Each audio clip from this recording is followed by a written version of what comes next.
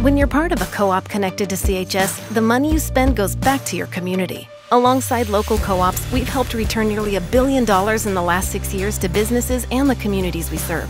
That's what we call local. Let's get out there and own every day.